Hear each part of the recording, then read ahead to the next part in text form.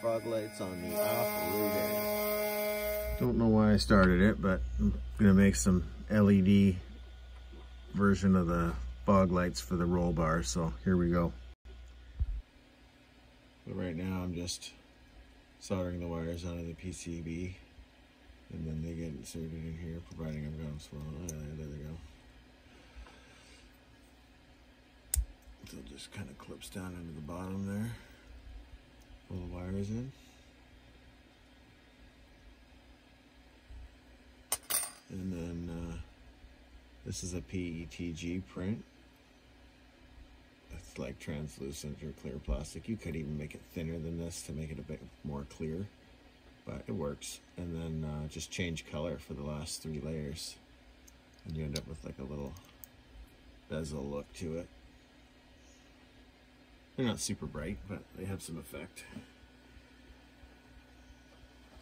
All right. So the wires just run in this groove, and then I just take the silicone earplugs, the same stuff that they uh, use in the differentials and RCs and stuff all the time. Just jam it into the crack. It holds the wire in there perfect. It doesn't really dry out. You can pull it out later or whatever, and you won't really see it, but it'll keep the wire in there. That way you don't have to have zip ties all over the place. I've got my helper here today. So anyways, the wires end up coming out in the wheel well here, that little slot. So it works out really nice. The wires are completely hidden, other than that tiny little bit that you can see. Could just Sharpie them or use black wires. I just didn't have any black wire.